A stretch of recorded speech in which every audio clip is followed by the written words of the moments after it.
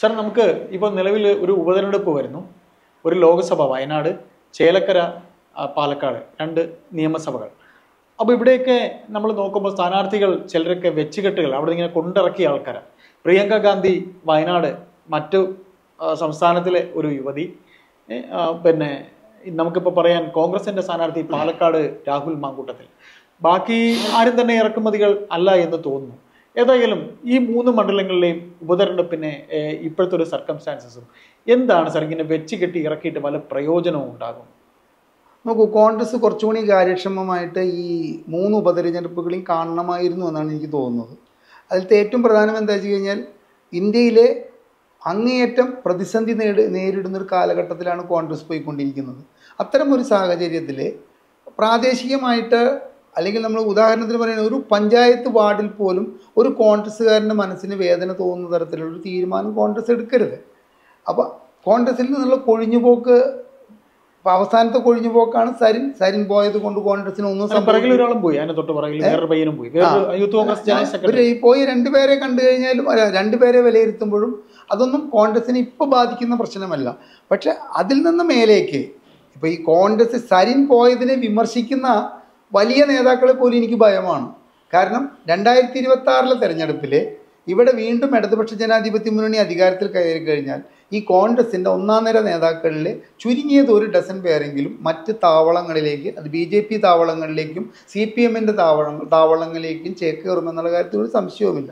അത്തരം ഒരു സാഹചര്യത്തിൽ പ്രാദേശികമായി പോലും വോട്ടർമാർക്കിടയിലും പ്രാദേശിക നേതാക്കൾക്കിടയിലും ശത്രുത വരുത്താതിരിക്കാൻ ഈ രാഹുൽ മാങ്കൂട്ടത്തിൽ എന്ന് പറയുന്ന ഒരു പത്തനംതിട്ട ജില്ലക്കാരനെ കൊണ്ടുപോയിട്ട് പാലക്കാട് നിർത്തരുതായിരുന്നു എന്നാണ് എന്റെ അഭിപ്രായം. രാഹുൽ മാങ്കൂട്ടത്തിന് അനിതര സാധാരണമായ ജനസ്വാധീനമുണ്ട് എന്നുള്ളത് കോൺഗ്രസ് എന്ന് പറയുന്ന പാർട്ടി വിശ്വസിക്കുന്നതാണ്. അത് പാലക്കാട്ടുകാർക്ക് ആ വിശ്വാസം ഉണ്ടോ ഇല്ലയോ എന്നുള്ളത് നമുക്ക് ഇലക്ഷൻ കഴിഞ്ഞാലേ കൃത്യമായിട്ട് പറയാൻ പറ്റുള്ളൂ. അപ്പോൾ പാലക്കാട് ഒരുപാട് ആൾക്കാർക്ക് ഈ സീറ്റ് കിട്ടാനുള്ള ആഗ്രഹവും മോഹവും ഉള്ള സ്ഥിതിക്ക്. അതിനെക്കുറിച്ചിട്ടൊരു സ്ക്രൂട്ടനൈസിങ് ഇതിപ്പോൾ അവിടെ ഷാഫി പറമ്പിൽ വടകരയിൽ ജയിച്ചപ്പോൾ തൊട്ടിട്ട് ഇവർ പറയുന്നതാണ്. അവിടെ രാഹുൽ മാങ്കൂട്ടത്തിലാണെന്ന്. ഒരു അഭിപ്രായ വോട്ടെടുപ്പോ അത്തരത്തിലുള്ള ഒന്നും നടന്നിട്ടില്ല. ഇവർ ഏകപക്ഷീയമായിട്ടൊരു രാഹുൽ മാങ്കൂട്ടത്തിന്റെ ആരാധകരായിട്ടുള്ള വൻ നേതാക്കൾ വലിയ നേതാക്കൾ ഒരു തീരുമാനം എടുത്തു അവിടേക്ക് രാഹുൽ ഷാഫി പറഞ്ഞു അവരാക്കി. ഷാഫി പറഞ്ഞു അതിന്റെ പിന്നാലെ ഷാഫിക്ക് വളരെ വേണ്ടപ്പെട്ട ആളാണെന്നുള്ളത് എനിക്ക് ഷാഫി പറഞ്ഞു. ഷാഫിയെ മുഷിപ്പിക്കേണ്ടെന്നുള്ളത് എനിക്ക് നേതാക്കന്മാരെ ഏറ്റെടുത്തു. അങ്ങനെ അത് ചെയ്യരുതായിരുന്നു. നൂലിൽ കെട്ടി ഇത്തരം സ്ഥാനാർത്ഥികളെ ഇറക്കുമ്പോൾ ഓരോ വാർഡിലും പത്ത് പേര് വിചാരിക്കുകയാണ് ഇത് നമുക്ക് ഒരു ഇതിനൊരു മറുപടി കൊടുക്കുക ഇതിനൊരു പണി കൊടുക്കുക എന്ന് വിചാരിച്ചു കഴിഞ്ഞാൽ അത് വലിയ ബാധിക്കുന്ന പ്രശ്നമാണ്. അപ്പോൾ അത്തരത്തിൽ ഉണ്ടായിരുന്ന ഒരു സിറ്റിംഗ് സീറ്റ് നഷ്ടപ്പെടുന്നത് പോലും കോൺഗ്രസിനെ ഓൾ ഇന്ത്യ തലത്തിൽ അത് വലിയ ഡാമേജാണ് അപ്പോൾ അതുണ്ടാക്കാതിരിക്കാൻ വേണ്ടിയിട്ടെങ്കിലും സർവസമ്മതനായിട്ടുള്ളൊരു സ്ഥാനാർത്ഥിയെ പാലക്കാട് നിർത്തേണ്ടതായിരുന്നു എന്നുള്ള കാര്യത്തിൽ സംശയമില്ല.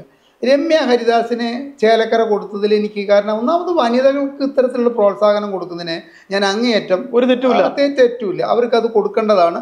മാത്രമല്ല അവർ നിയമസഭയിൽ വരേണ്ടതാണ്. അവരെ അവരുടേതായിട്ടുള്ള നമ്മൾ പറയില്ലേ നമ്മുടെ അവർ ലോക്സഭയിൽ ഇരുന്നതുമാണ്. അത് ലോകസഭയിൽ ഇരുന്നതാണ്. അപ്പോൾ അവരുടെ ചേലക്കര ഒന്നാം ചേലക്കരയിൽ ഈ നമ്മുടെ രമ്യ ഹരിദാസ് ജയിക്കുമെന്ന് എനിക്ക് തോന്നുന്നില്ല. കാരണം അത് അവരുടെ സി പി എമ്മിന്റെ കുത്തക സീറ്റാണ്. അവിടെ ജയിക്കാനുള്ള സാധ്യത വളരെ കുറവാണ്. ഒരു കണക്കിന് പറഞ്ഞു കഴിഞ്ഞു കഴിഞ്ഞാൽ രണ്ടായിരത്തി ഇരുപത്തി ആറിലെ തെരഞ്ഞെടുപ്പിൽ രമ്യ ഹരിദാസിന്റെ ഒരു ക്ലെയിം കൂടി ഇല്ലാതാക്കുന്ന വിധത്തിലാണ് ഒരു. ഇത്തരത്തിലുള്ള ഒരു ദുർബുദ്ധിയോട് കൂടിയിട്ട് കോൺഗ്രസ് അവിടെ. ദുർബുദ്ധി തന്നെയാണ്. ദുർബുദ്ധിയാണെന്നും കൂടി ഞാൻ മനസ്സിലാക്കുന്നു. ചില ആൾക്കാരുടെ ദുർബുദ്ധി ഉണ്ട് ദുർബുദ്ധി ഉണ്ട് എന്നുള്ളത് മനസ്സിലാക്കുന്നു. ഇനി അടുത്തതാണ് വയനാട്. വയനാട്. പ്രിയങ്ക ഗാന്ധി. പ്രിയങ്ക ഗാന്ധി ഒരു രാഷ്ട്രീയ നേതൃത്വത്തിലേക്ക് വരണമെന്നും കോൺഗ്രസിന്റെ ഇന്നത്തെ ദുർബലാവസ്ഥ മാറ്റിക്കൊണ്ട് അവർ ഒരു വനിതാ നേതാവായിട്ട് ഇന്ദിരാഗാന്ധിയുടെ പിൻഗാമിയായിട്ട് വരണം എന്നൊക്കെ എനിക്ക് ആഗ്രഹമുണ്ട്. പക്ഷെ അതിന് ഈ ഒരു സാഹസം ചെയ്യരുതായിരുന്നു എന്ന് തന്നെയാണ് എനിക്ക് തോന്നുന്നത്. ഇപ്പൊ ഈ അയ്യപ്പദാസ് ഏട്ടൻ രാജിവെക്കുന്ന സീറ്റിൽ. അനുജത്തി ഭർത്താവ് മരിച്ച സീറ്റിൽ ഭാര്യ. ഉമാ തോമസ്. നമ്മളിരുന്ന് സംസാരിക്കണ അതെ അതെ അതുമാതിരി തന്നെ അപ്പൻ മരിച്ചപ്പോ മകൻ. പുതുപ്പള്ളിയിലെ. ഉമ്മൻചാണ്ടിയുടെ മകൻ ചാണ്ടിയും ഇതൊക്കെ എന്ത് രാഷ്ട്രീയമാണ് അപ്പൊ ഇതൊരു രാഷ്ട്രീയം എന്ന് പറഞ്ഞാൽ ഒരു ക്ലെയിമോ ഒരു ഇൻഷുറൻസ് ക്ലെയിം മാതിരി മുൻപോട്ട് പോയി കോൺഗ്രസ് പാർട്ടിയിൽ വേറെ ആരും ഇല്ലേ? അല്ല അത് ആ ചോദ്യം ചോദിക്കുന്നത് ഞാനല്ല. ഞാൻ കോൺഗ്രസ് കമ്മ്യൂണിസ്റ്റുകാരനല്ല ബി ജെ പിക്കാരനും അല്ല അതുകൊണ്ട് എനിക്ക് ചോദിക്കാം ഇത് എന്ത് ജനാധിപത്യം പത്രപ്രവർത്തനത്തിൽ ചോദിക്കുന്നത് വേറെ ആരും ഇല്ലേ? ആ പിന്തുടർച്ചാവകാശം പോലെ. അപ്പൊ ഇതൊരു ശരിയായിട്ടുള്ള അവിടെ രാഹുൽ ഗാന്ധി നിന്നതോ ജയിച്ചതോ അദ്ദേഹം രണ്ട് സ്ഥലത്ത് ഒരു സ്ഥലത്ത് രാജിവെച്ചതോ ഒക്കെ പോട്ടെ. നല്ലൊരു ചൊണക്കുട്ടി അവിടെ നിർത്തിയിട്ട് അത് ഒരു ലക്ഷം വോട്ടിനാണെങ്കിൽ പോലും. ഒരു പക്ഷേ ഇപ്പൊ പ്രിയങ്ക ഗാന്ധി ജയിക്കാൻ പോകുന്ന അയ്യപ്പദാസ് എന്നോട് പേഴ്സണലായിട്ട് സംസാരിച്ച പോലെ അഞ്ചു ലക്ഷം വോട്ടിനായിരിക്കാം. പക്ഷെ ആ അഞ്ചു ലക്ഷത്തിനേക്കാൾ ഫലം ചെയ്യുമായിരുന്നു. കേരളത്തിലെ ഒരു നേതാവിനെ അവിടെ നിർത്തിയിട്ട് ഒരു ലക്ഷം വോട്ടിന് ജയിച്ചു കഴിഞ്ഞു കഴിഞ്ഞാൽ അതിനൊരു നെഞ്ചുവിരിപ്പ് ഉണ്ടായിരുന്നു ഇവിടെ സി പി എമ്മിനെ പോലുള്ള ഒരു പാർട്ടിയുടെ ഒരു ഊള ചോദ്യം ചോദിക്കുന്നുണ്ടല്ലോ. ഇന്ത്യ മുന്നണിക്ക് എതിരായിട്ട് എങ്ങനെയാണ് അവിടെ മത്സരിക്കുക എന്ന് ഇരുപത്തി എട്ട് സ്റ്റേറ്റിൽ ഇരുപത്തിയേഴെണ്ണത്തിലും ഇവർ രണ്ടു കൂട്ടരും ഒന്നാണ് കോൺഗ്രസും എല്ലാവരും ഒന്നാണ്. കേരളത്തിൽ ഇവർ തമ്മിൽ പോരടിക്കണേന് അവർക്ക് പ്രശ്നമില്ല. പക്ഷേ ഇന്ത്യ മുന്നണിയുടെ ഭാഗമായിട്ടുള്ള പ്രിയങ്ക ഗാന്ധി എവിടെ എങ്ങനെയാണ് ഇവിടെ സി പി എമ്മിനെതിരായിട്ട് മത്സരിക്കുക? ഇത്തരത്തിലുള്ള ഊള ചോദ്യങ്ങളൊക്കെ ചോദിക്കുന്നുണ്ട്. ആ ചോദ്യത്തിനൊന്നും പ്രസക്തി ഇല്ലാതാവും. അവിടെ നമ്മുടെ ഒരു മലയാളി എത്രയോ നേതാക്കന്മാരുണ്ട് എത്രയോ ആൾക്കാരുണ്ട് നമ്മുടെ കേരളത്തിലത്തെ. അതിനിപ്പോൾ വേണ്ടിയിട്ട് അതൊരു നൂലിൽ കെട്ടി ഇറക്കിയാൽ പോലും തെറ്റില്ല എന്നാണ് എനിക്ക് തോന്നുന്നത്. ലോകസഭയിലേക്കല്ലേ? അപ്പോൾ അത് ഇത് കോൺഗ്രസ് ചെയ്യരുതായിരുന്നു.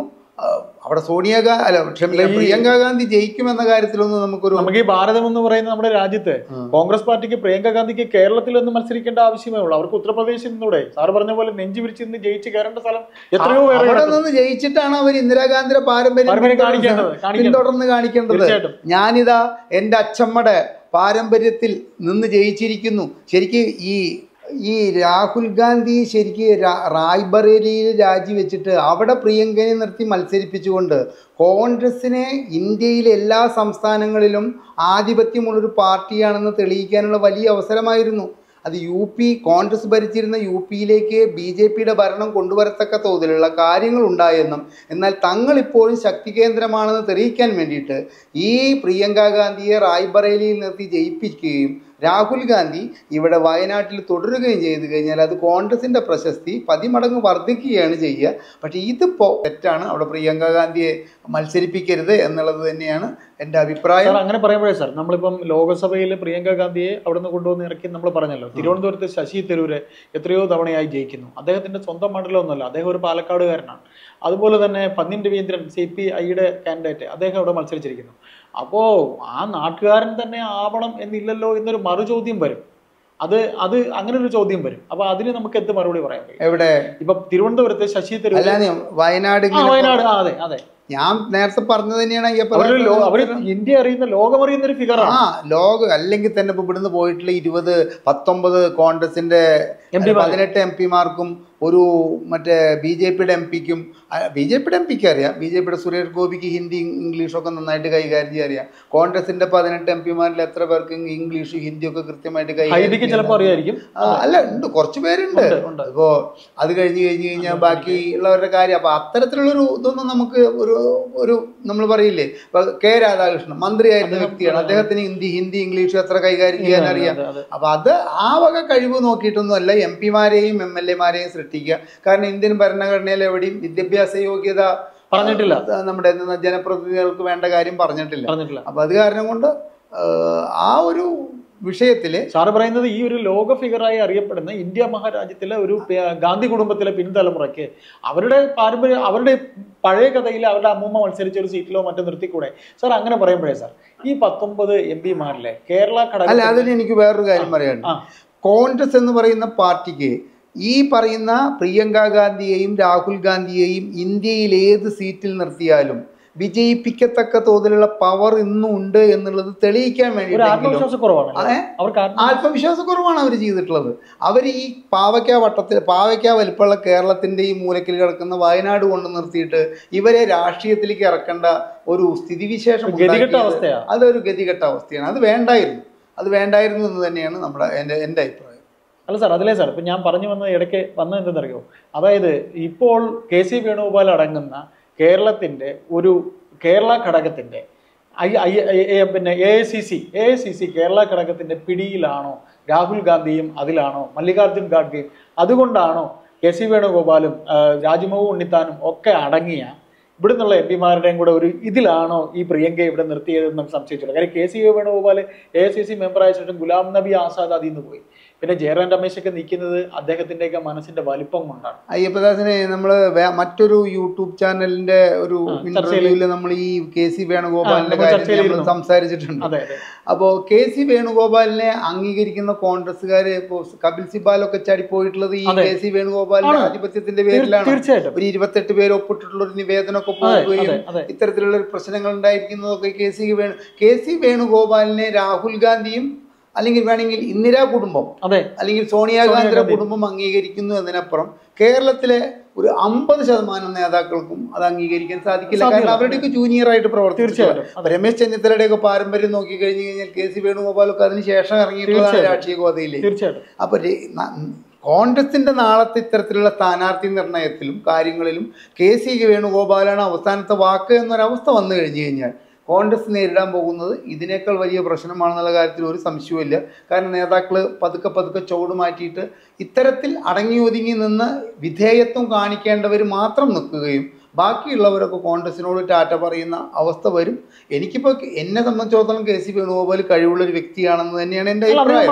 അതിലൊന്നും നമുക്ക് അഭിപ്രായമില്ല പക്ഷെ ആ വ്യക്തിത്വവും അദ്ദേഹത്തിന്റെ കഴിവും പാർട്ടി തലത്തിൽ ഇത്തരം തീരുമാനങ്ങൾ എടുക്കേണ്ട സ്ഥിതിവിശേഷത്തിലേക്ക് എത്തി നിൽക്കുമ്പോൾ അത് അംഗീകരിക്കാൻ പാർട്ടിയിൽ എത്ര പേർ തയ്യാറാകും എന്നുള്ളൊരു ചോദ്യം ബാക്കിയാക്കിയാൽ അതുകൊണ്ടുണ്ടാവുന്ന ഡാമേജ് നിസ്സാരമല്ലെന്ന് കോൺഗ്രസിന്റെ നേതൃത്വം മനസ്സിലാക്കുന്നതാണ് നല്ലത്. അല്ല സാർ ഇന്നലെ നമ്മുടെ സരിൻ ഇറങ്ങിയതിന് ശേഷം വേറൊരു യുവ നേതാവ് ജനറൽ സെക്രട്ടറി പെട്ടെന്ന് എനിക്ക് പേര് ഓർമ്മ വരുന്നില്ല. ഷനീറെന്നോ അങ്ങനെ എന്തോ ആണ്. ആ ആ പയ്യൻ ഇറങ്ങിയ സമയത്ത് അയാൾ പറഞ്ഞെന്നറിയാമോ? അയാളെപ്പോലുള്ളൊരു അഭിപ്രായം പറയുമ്പോഴത്തേക്ക് വി. ഡി. സതീശൻ കൃമികീടങ്ങളെ പ്രാണികളെയൊക്കെ കാണുന്ന പോലെ നീയൊക്കെ ആരാടാ ഇതൊക്കെ ചോദിക്കാൻ എന്ന രീതിയിലാണ് പെരുമാറുന്നതെന്ന് സങ്കടത്തോടെയാണ് ആ പയ്യൻ പറഞ്ഞത്. അതുപോലെ അയാൾ പറഞ്ഞു വി. ഡി. സതീശന് വേണ്ടി കൈപൊക്കാൻ വി. ഡി. സതീശൻ മുഖ്യമന്ത്രിയാവാൻ ഇനി അടുത്ത ഇലക്ഷൻ വന്നാൽ മുഖ്യമന്ത്രിയാകാൻ കൈപൊക്കാൻ ഒരാൾ വേണം. അതിനാണ് മാങ്ങൂട്ടത്തെ നിർത്തിയത്. സർ ഈ വി. ഡി. സതീശനൊക്കെ സ്വപ്നം കാണുന്നത് നടക്കുമെന്ന് നമുക്ക് കരുതാൻ ഈ അവസരത്തിൽ കഴിയുമോ? അല്ലെങ്കിൽ വരും നാളിലെങ്കിലും കഴിയും എനിക്ക് തോന്നുന്നില്ല. അങ്ങനെ പറയരുത് അയ്യപ്പദാസ്. അത് തെറ്റാണ്. ഒരു കരുണാകരൻ എന്ന് പറയുന്ന വൻ മലയെ ഒതുക്കിയിട്ട് ഉമ്മൻചാണ്ടി കരുണാകരൻ മന്ത്രിസഭയുടെ പകുതിക്കാലം കാലം മുഖ്യമന്ത്രിയായ സംസ്ഥാനമാണ് കേരളം. തീർച്ചയായിട്ടും. അപ്പൊ കരുണാകരൻ എന്ന് പറഞ്ഞ ആരാ? ചോദ്യം ചെയ്യപ്പെടാൻ. അന്ന്. ആ ആ കാലഘട്ടത്തിലേന്നല്ല എനിക്ക് ഓർമ്മ വെച്ച കാലം തൊട്ടിട്ട് അദ്ദേഹം അതെ അപ്പൊ കരുണാകരനെ മുന്നിൽ നിന്നും പിന്നിൽ നിന്നും കുത്തിയിട്ട് ഒതുക്കാൻ കഴിയുന്ന നമ്മുടെ കേരളത്തിലെ കോൺഗ്രസ്. നേതൃത്വത്തിന് നാളെ രമേശ് ചെന്നിത്തലേനെ ഒതുക്കിക്കൊണ്ട് പിന്നെ ക്ലെയിം അടുത്ത ക്ലെയിം അദ്ദേഹത്തിനാണ്. മുല്ലപ്പള്ളി ഒതുങ്ങി. രാമേന്ദ്രനൊന്നും ഒരു കാരണവശാലും അതിനോ സത്യത്തിൽ ശശി തരൂരിനാണ് സാധ്യത. അല്ല സാധ്യതയല്ല വേണ്ടത്. വേണ്ടത്. എല്ലാ കാര്യം കൊണ്ടും ആ വിശ്വപൗരനെ പിടിച്ചിട്ട് കേരളത്തിന്റെ മുഖ്യമന്ത്രിയാക്കി കഴിഞ്ഞു കഴിഞ്ഞാൽ പിന്നീട് അഡ്മിനിസ്ട്രേറ്ററാണ് തീർച്ചയായിട്ടും അതെ. അദ്ദേഹത്തിന് അതിനുള്ള കഴിവുണ്ട്. അപ്പോ അതിനുള്ള സാധ്യതയൊന്നും നമ്മുടെ കേരളത്തിലില്ല. അപ്പം നമ്മൾ പറയില്ലേ പ്രയോറിറ്റി നോക്കുകയാണെങ്കിൽ രമേശ് ചെന്നിത്തല തന്നെയാണ്. രമേശ് ചെന്നിത്തലയുടെ രമേശ് ചെന്നിത്തല അനുകൂലിക്കുന്ന വലിയൊരു വിഭാഗം കോൺഗ്രസ്സിൽ ഉണ്ടെങ്കിലും അതിനൊക്കെ അട്ടിമറിച്ചിട്ട് നാളെ വി ഡി സതീശൻ മുഖ്യമന്ത്രി ആകുമോ എന്നുള്ള ചോദ്യത്തിന് കോൺഗ്രസ് ആണ്. കരുണാകരൻ കൈപൊക്കാനാണ് ഉമ്മൻചാണ്ടിക്ക് ഉമ്മൻചാണ്ടിക്കെതിരായിട്ടുള്ള സോളാർ കേസ് സൃഷ്ടിച്ചതിൽ അൻപത് ശതമാനം ഇടതുപക്ഷത്തിന് പങ്കുള്ളൂ. അമ്പത് ശതമാനം കോൺഗ്രസ്സുകാരുണ്ടാക്കിയിട്ടുള്ളതാണ് അവർക്ക് ആവശ്യമായ വെള്ളവും വളവും കൊടുത്തിട്ട് അത് തീ കത്തിച്ചിട്ട് ഉമ്മൻചാണ്ടി എന്ന് പറയുന്ന മനുഷ്യ നോക്കി നോക്കൂ രണ്ടായിരത്തി ഒമ്പത് മുതൽ രണ്ടായിരത്തി പതിനാല് വരെയുള്ള ഉമ്മൻചാണ്ടിയുടെ സർക്കാരിന് ഒരു തുടർ ഭരണത്തിനുള്ള സാധ്യതയുള്ള എല്ലാ ഭരണവുമായിരുന്നു അദ്ദേഹത്തിന്റെ അങ്ങനെ യാതൊരു ഇതുമില്ല. ഈ ഒരു സോളാർ കേസിന്റെ ഒരു മുൾക്കിരീടം അദ്ദേഹത്തിന്റെ തലയിൽ വെച്ചുകൊണ്ട് ആ സർക്കാർ ചെയ്ത നല്ല കാര്യങ്ങളെല്ലാം കൊണ്ട് ഇടതുപക്ഷത്തിന് ഈ വിഷയം ഹൈലൈറ്റ് ചെയ്യാൻ വേണ്ട എല്ലാ ഒത്താശയും ചെയ്തു കൊടുത്തിട്ടുള്ളത് കോൺഗ്രസിന്റെ നേതാക്കളാണ്. യു ഡി എഫിന്റെ നേതാക്കളാണ്. അപ്പൊ അത്തരത്തിലുള്ള സാഹചര്യത്തിൽ അയ്യപ്പദാസ് എന്നോട് ചോദിച്ചു കഴിഞ്ഞു കഴിഞ്ഞാൽ കോൺഗ്രസിൽ നാളെ എന്ത് സംഭവിക്കുമെന്നുള്ളത് മുൻകൂട്ടി പ്രവചിക്കാൻ പറ്റാത്ത വിധത്തിലുള്ള കരുനീക്കങ്ങൾ നടത്താൻ പ്രാപ്തിയുള്ളവരാണ് അവർ അവിടെ രമേശ് ചെന്നിത്തലയെയും ശശി തരൂരിനെയും നമ്മുടെ മുല്ലപ്പള്ളി രാമചന്ദ്രനെയും ഒക്കെ തട്ടിയിട്ട് അതിന്റെ മുൻപിലേക്ക് വി. ഡി. സതീശൻ വന്നു കഴിഞ്ഞാൽ മുല്ലപ്പള്ളി ഒരിക്കലും ചിത്രത്തിൽ ഏ മുല്ലപ്പള്ളി ഒരിക്കലും ചിത്രത്തിൽ പിന്നെയെങ്കിലും വരും. അതെ. അപ്പൊ ഏതായാലും ഇത്തരത്തിൽ കെട്ടിയിറക്ക സ്ഥാനാർത്ഥികൾ തങ്ങൾക്ക് വേണ്ടി കൈവക്കാനാണ് എന്നുള്ളത് അവർ തന്നെ പറഞ്ഞു കഴിഞ്ഞു. സാർ എന്തായാലും പാലക്കാട് ചിത്രം എന്തായി തീരും സാർ ഇങ്ങനെ ഒരു നാല് ഇപ്പം രണ്ട് വിമതര് അല്ല ഒന്ന് ഇടതുപക്ഷത്തിന്റെ സ്ഥാനാർത്ഥി ഒന്നൊരു വിമതൻ സ്വതന്ത്രനായി മത്സരിക്കുന്നെന്ന് പറയുന്നു. അൻവറിന്റെ സ്ഥാനാർത്ഥി ബി ജെ പി പേരിനാണ് കൃഷ്ണകുമാറിനെ നിർത്തിയെന്നാണ് നമുക്ക് മനസ്സിലാക്കാനുള്ളത്. കൃഷ്ണകുമാറിൽ അവർ ജയമൊന്നും കാണുന്നില്ല. അപ്പോൾ വേറെ ഇപ്പോ മാങ്കൂട്ടം. നമ്മൾ നോക്കുമ്പോഴത്തേക്ക് സാർ ഈ ഒന്നര വർഷത്തേക്ക് എന്ത് എന്താണ് സാർ ഈ രാഷ്ട്രീയക്കാർ മനസ്സിൽ കാണുന്നത്? കോൺഗ്രസ് ആയാലും സി പി എം ആയാലും ഇത് വെറും ഒരു ജനത്തിനെ മടയരാക്കുന്ന ഒരു പരിപാടി. തീർച്ചയായിട്ടും ജനത്തിന് അത് എന്തപ്പി അല്ലെങ്കിലും ഈ തെരഞ്ഞെടുപ്പിലൂടെ ഒരു ഒരു ജനപ്രതിനിധിയെ സൃഷ്ടിക്കുക എന്ന് പറഞ്ഞു കഴിഞ്ഞാൽ അത് ജനോപകാരപ്രദമായിട്ടുള്ള ഒരു നമ്മൾ പറയില്ല ഒരു ജനപ്രതിനിധി പ്രവർത്തിക്കാനൊന്നുമല്ല. ഇവരുടെ രാഷ്ട്രീയ താല്പര്യങ്ങൾക്ക് അനുസരിച്ചിട്ടുള്ള വ്യക്തികൾ ഒന്നര വർഷത്തേക്ക്. അതല്ലേ ഞാൻ പറഞ്ഞത്. അപ്പം മരിച്ചു കഴിഞ്ഞാൽ മകന് സീറ്റ് ഭർത്താവ് മരിച്ചു കഴിഞ്ഞാൽ ഭാര്യയ്ക്ക് സീറ്റ് അനുജൻ രാജിവെച്ച് കഴിഞ്ഞാൽ അനുജൻ. ചേട്ടന് ചേട്ടൻ രാജിവെച്ച് കഴിഞ്ഞാൽ അപ്പൊ ഇതൊന്നും രാഷ്ട്രീയ പ്രവണതകളിൽ എവിടെയും പ്രോത്സാഹിപ്പിക്കേണ്ട സംഗതിയല്ല. അത്തരത്തിലുള്ള ഒരു കാര്യം വെച്ചിട്ട് ഈ പത്തനംതിട്ടക്കാരനായ രാഹുൽ മാങ്കൂട്ടം. മാങ്കൂട്ടത്തിനെ മാങ്കൂട്ടത്തിനെ അവിടെ കൊണ്ട് നിർത്തിയിട്ട് അദ്ദേഹത്തെ ജയിപ്പിച്ചെടുക്കേണ്ടത് ഇപ്പൊ കോൺഗ്രസിന്റെ വലിയ വലിയ ബാധ്യതയായി ലോക്സഭാ തെരഞ്ഞെടുപ്പിലെ പതിനെട്ട് സീറ്റുകൾ നേടുന്നതിനേക്കാൾ വലിയ ബാധ്യതയായി ഈ സംഗതിയിൽ ഞാൻ പ്രവാചകനൊന്നുമല്ല. പക്ഷെ രാഷ്ട്രീയമായിട്ടുള്ള ചുറ്റുപാടുകളും കാര്യവും പാലക്കാട് നിന്നുള്ള എന്റെ സുഹൃത്തുക്കളുടെ വിവരങ്ങളൊക്കെ കിട്ടുമ്പോൾ രാഹുൽ മാങ്കൂട്ടത്തിൽ ഒരു അഗ്നി പരീക്ഷണത്തിലൂടെ അല്ലാതെ ജയിച്ചു കയറാൻ വലിയ ബുദ്ധിമുട്ടാണ്. ഷാഫിക്ക് കിട്ടിയ വോട്ടിന്റെ ഭൂരിപക്ഷം മൂവായിരമാണ്. ഒരു വേള ചിലപ്പോൾ ഒരു അയ്യായിരത്തിനോ മറ്റോ രാഹുൽ ജയിക്കുകയാണെങ്കിൽ അതിൽ അതിശയിക്കേണ്ട ഒരു കാര്യം ഒരു കാര്യമില്ല വലിയ വലിയ അഗ്നി പരീക്ഷണത്തിലൂടെ മാത്രമേ രാഹുൽ മാങ്കൂട്ടത്തിന് അവിടെ ജയിക്കാൻ പറ്റുള്ളൂ തീർച്ചയായിട്ടും ഒരു യുവത്വം എല്ലാവരും അറിയുന്ന ഒരു ഫിഗർ ഒരു ചെറുപ്പക്കാരൻ എന്നുള്ള ഒരു പരിഗണന രാഹുലിന് കിട്ടുമായിരിക്കാം. എന്ന് വിചാരിക്കുക. അത് സാറ് പറയുന്ന പോലെ ഒരു വലിയ പരീക്ഷണം. രാഷ്ട്രീയത്തിൽ രണ്ടും രണ്ടും നാലല്ല എന്നുള്ളത് എല്ലാ കാലത്തും തെളിയിക്കപ്പെട്ടിട്ടുള്ളതാണ്. ആ വിശ്വാസത്തിന്റെ മുകളിൽ നമ്മൾ പറയുക രാഷ്ട്രീയത്തിലെ രണ്ടും രണ്ടും നാലല്ല എന്ന് പറയുന്ന ഒരു കാഴ്ചപ്പാടില്ലേ? രാഹുൽ മാങ്കൂട്ടത്തിൽ ജയിക്കാം ജയിക്കാതിരിക്കാം. പക്ഷെ രാഹുൽ മാങ്കൂട്ടത്തിൽ നേരിടാൻ പോകുന്ന അഗ്നിപരീക്ഷ വലിയ ഒരു അഗ്നിപരീക്ഷയാണ് അതെ അതെ അതെ. ആ അഗ്നിപരീക്ഷയിലൂടെ കടന്നിട്ട് അദ്ദേഹം ജയിച്ചു വന്നു കഴിഞ്ഞാൽ അത് കോൺഗ്രസിന് വലിയ കാരണം ഇപ്പൊ ആ സീറ്റ് നിലനിർത്തേണ്ടത് വലിയ. അത് രണ്ടായിരത്തി ഇരുപത്തി ആറിലെ ജനങ്ങളോട് മറുപടി പറയേണ്ട ഒരു സംഗതിയായിട്ട് മാറുകയാണ് അത് തോറ്റു കഴിഞ്ഞു കഴിഞ്ഞാൽ. തീർ- തീർച്ചയായിട്ടും. ആ അപ്പൊ ആ ഒരു അവസ്ഥ ഇല്ലാതാക്കാൻ വേണ്ടിയിട്ട് അവിടെ ജയിക്കണം. ചെറിയൊരു കാര്യം കൂടെ. അത് പറയുമ്പോൾ നമ്മൾ കോൺഗ്രസിനെ കുറിച്ച് പറഞ്ഞെങ്കിലും സി പി എം എന്ന് പറയുന്ന പാർട്ടി ഒരു കാലത്ത് പാലക്കാട് എന്ത് ചുവപ്പിച്ചൊരു പാർട്ടിയാണ്. സർ അവർക്ക് കേവലം ഒരു സ്ഥാനാർത്ഥിയെ കണ്ടെത്താൻ പോലും കഴിയാത്തൊരു പാർട്ടിയായി ഈ പാർട്ടി അതപ്പതിച്ച് മണ്ണോട് ചേർന്നോ എന്നൊരു ചോദ്യം കൂടെ ഒരു ഒരു നിരീക്ഷകൻ എന്ന രീതിയിൽ ഞാൻ ചോദിച്ചു പോവുകയാണ്. ഞാനതിന് പറയണ അതിന് കേ- ഉത്തരവും കേട്ടോളൂ. അതായത് കെ പി സി സി ആസ്ഥാനത്തിന്റെ വടക്കുപുറത്ത് ഒരു വലയും വെച്ച് കാത്തിരുന്നിട്ട് അവിടുന്ന് ചോർന്നു പോകുന്ന ഇത്തരത്തിലുള്ള നേതാക്കളെ പിടിച്ച് സ്ഥാനാർത്ഥിയാക്കേണ്ട ഗതികേടിലേക്ക് കേരളത്തിലെ സി പി എം എത്തി എന്നുള്ളത് തെളിയിച്ചിരിക്കുകയാണ്. വല വെച്ച് ആ, പിടിക്കുന്നവർ വല വെച്ച് പിടിക്കുകയാണ്. ഇപ്പൊ നോക്കി നോക്കൂ അല്ലാണ്ട് ഇപ്പൊ ഈ ട്രാവൻകൂർ ദേവസ്വം ബോർഡിന്റെ ഇപ്പോഴത്തെ ചെയർമാനായിട്ടുള്ള വ്യക്തി ഈ സി പി എമ്മിന് എന്ത് കടമയും അതാണ് കടപ്പാടുമാണ് ഇപ്പോഴത്തെ സി പി എത്രയോ സി പി എമ്മിന് വേണ്ടിയിട്ട് വെള്ളം കോരുകയും വിറക് വെട്ടുകയും ചെയ്തിട്ടുള്ള ആൾക്കാർക്ക് കൊടുക്കേണ്ട ഒരു സ്ഥാനമാണ് ഈ കോൺഗ്രസിൽ നിന്നും ഈ ഇദ്ദേഹം കോൺഗ്രസിൽ നിന്ന് പോരുന്നതിന്റെ തലേ ദിവസം വരെ ഈ സരിനും ഈ പ്രശാന്തൊക്കെ അങ്ങേയറ്റം തെറി വിളിച്ചിരിക്കുകയാണ് ഈ പിണറായി വിജയനെ. തെറി എന്ന് പറഞ്ഞു കഴിഞ്ഞാൽ അത്തരത്തിലുള്ള തെറിയും ട്രോളും വേറെ ഒരാളും ഉണ്ടാക്കിയിട്ടില്ല. പക്ഷെ ഒറ്റ ദിവസം കൊണ്ട് അവർക്ക് കിട്ടണ്ട. സരിൻ പറഞ്ഞത് എന്താ ഞാൻ ജോലി രാജിവെച്ചത് രാഷ്ട്രീയത്തിലേക്ക് ഇറങ്ങിയത് ആരും രക്ഷിക്കാനൊന്നുമല്ല. എനിക്ക് സ്ഥാനമാനങ്ങൾ തന്നെയാണ് വേണ്ടത്. അപ്പോൾ സ്ഥാനമാനങ്ങൾക്ക് വേണ്ടിയിട്ട് ഇത്തരത്തിലുള്ള പ്രവർത്തികൾ ചെയ്യുന്നവരെ വല വെച്ച് പിടിച്ചിട്ട് കൊണ്ടുവന്നിട്ട് സ്ഥാനാർത്ഥിയാക്കേണ്ട ഗതികേട് ഈ അതും പ്രത്യേകിച്ച് പാലക്കാടൻ മണ്ണിൽ സി പി എമ്മിന് ഉണ്ടായി എന്ന് പറഞ്ഞു കഴിഞ്ഞാൽ അത് ഈ പാർട്ടി നേരിടുന്ന ഏറ്റവും വലിയ അപച്യുതിയാണ്. കാരണം ഇതൊരു വൻമരമാണ് ഈ സി പി എം എന്ന് പറയുന്നത്.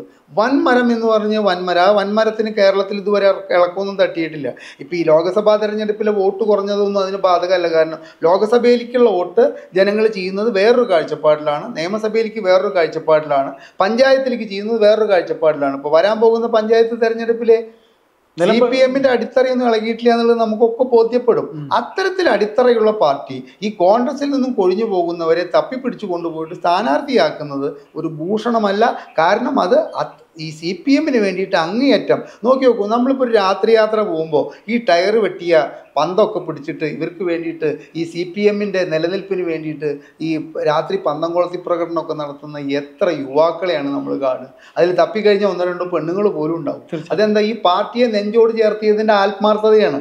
അവരത്തരത്തിൽ രാത്രിയിൽ ഈ പന്തംകുളത്തി പ്രകടനം നടത്തിയിട്ട് കിട്ടുന്ന എന്തെങ്കിലും ഒരു സംഗതി ഇപ്പോൾ റേഷനറിയുടെ വിതരണമായാലും എന്തെങ്കിലും കാര്യത്തിലൊക്കെ അത് എല്ലാവർക്കും കിട്ടുകയാണ്. പക്ഷെ അല്ല അങ്ങനെ എല്ലാവർക്കും കിട്ടാൻ വേണ്ടിയിട്ട് അവർ നടത്തുന്ന ഈ ത്യാഗത്തിന്റെ വിയർപ്പിന്റെ ഉപ്പ് രുചിക്കുന്നത് ഇത്തരത്തിൽ മറ്റ് പ്രശാന്തിനെ പോലെയും അതെ മറ്റ് പാർട്ടികളിൽ നിന്നും ചാടി വരുന്ന ഈ സരീനും അതുമാതിരി തന്നെ ഈ പ്രശാന്തൊക്കെ ആണെങ്കിൽ അത് ഈ പാർട്ടി പ്രവർത്തകരോട് ചെയ്യുന്ന വലിയ അത് സാർ പറയുമ്പോഴും ഈ അടുത്തിടയ്ക്ക് പാർട്ടി ഒരു നയരേഖ പുറത്തിറക്കി. ആ നയരേഖയിൽ ഇനിയും ചാടുന്ന അൻവറിനെയൊക്കെ നമ്മൾ കൊണ്ടുവരണമെന്ന സി പി എമ്മിന്റെ കേരള ഘടകത്തിന്റെ നിരീക്ഷണവും അങ്ങനെയാണ് ഇപ്പോൾ നയരേഖ ഉണ്ടാക്കിയിരിക്കുന്നത്. അൻവറിനെ അല്ലെങ്കിലും ചാടിച്ചിട്ട് എടുത്തതാണല്ലോ. കോൺഗ്രസ്സുകാരനായിരുന്നല്ലോ അൻവർ. കോൺഗ്രസിൽ നിന്ന് ചാടി വന്ന അൻവർ എടുത്തതല്ലേ? അൻവറിന്റെ കാര്യം നമ്മൾ ഒരിക്കൽ സംസാരിച്ച കാരണം ഏതായാലും ഏതായാലും സാർ നമ്മൾ സംസാരിച്ചാൽ ഇനിയും നമ്മൾ സംസാരിച്ചു പോകും. വളരെ വളരെ നല്ലൊരു ടോപ്പിക്കാണ് അപ്പോൾ നമുക്ക് ഇങ്ങനെ പറഞ്ഞ് അവസാനിപ്പിക്കാം. എന്തായാലും ഈ നാട്ടിൽ സി പി എം ഇനിയിപ്പം നമുക്ക് നന്നാക്കാനൊന്നും പറ്റില്ല. അവരിങ്ങനെയൊക്കെ പോവുള്ളൂ. രണ്ട് നമുക്ക് കാണാം രാഹുൽ മാങ്കൂട്ടം എത്ര ശതമാനം വോട്ട് നേടി വിജയിച്ചു എന്ന്. എന്തായാലും നന്ദി. നമസ്കാരം സാർ. നമുക്ക് കാണാം.